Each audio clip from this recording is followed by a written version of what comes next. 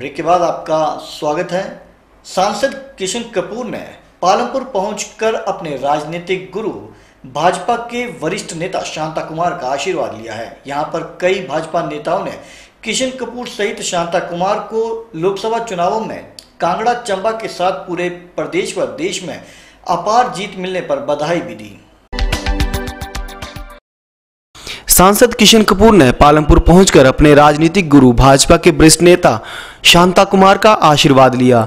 यहाँ पर कई भाजपा नेताओं ने किशन कपूर सहित शांता कुमार को लोकसभा चुनाव में कांगड़ा चंबा के साथ पूरे प्रदेश व देश में अपार जीत के लिए बधाई दी। शांता कुमार ने किशन कपूर को आशीर्वाद देने के बाद अपने चुनावी राजनीति छोड़ने पर भावुक गाना भी गाया। इस मौके पर प्रदेश स्वास्थ्य मंत्री विपिन सिंह परमार, बैजनाथ के विधायक मुल्खराज प्रेमी नगरोटा के विधायक अरुण मेहरा, पालमपुर के पूर्व विधायक प्रवीण शर्मा, जिला भाजपा अध्यक्ष विनय शर्मा सहित जिला के पदाधिकारी भी मौजूद रहे।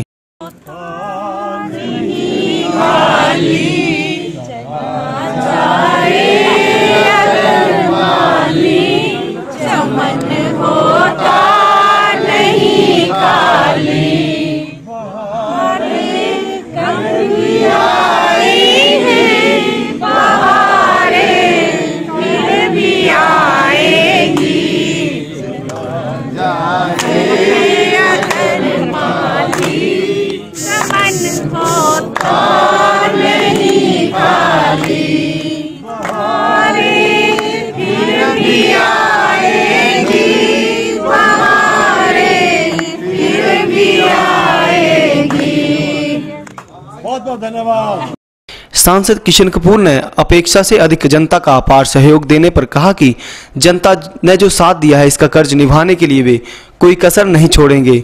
किशन कपूर ने कहा कि शांता कुमार ने जो विरासत उन्हें सौंपी है, उसे संभालना मेरा दायित्व है।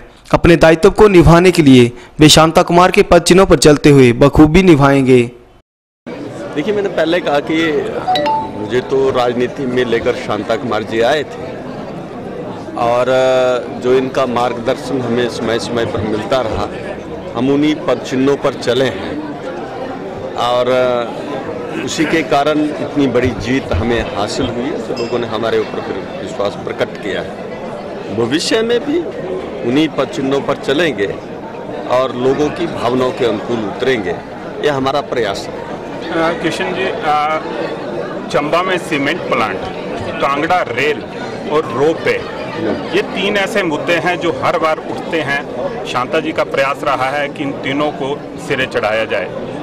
बात आगे बढ़ती भी है, परंतु पूरा नहीं हो पाए हैं। किस तरह से आप इन मुद्दों को उठाएँ देखिए, जो आदरणीय शांता जी ने जो मतलब एक शुरुआत की थी, उसको पूरा करने के लिए पूरा प्रयत्न करेंगे और मुझे विश्वास है कि हम उसमें सफल होंगे। ये मैं विश्वास देना चाहता हूँ। ठीक है जी थैंक यू जी बहुत बहुत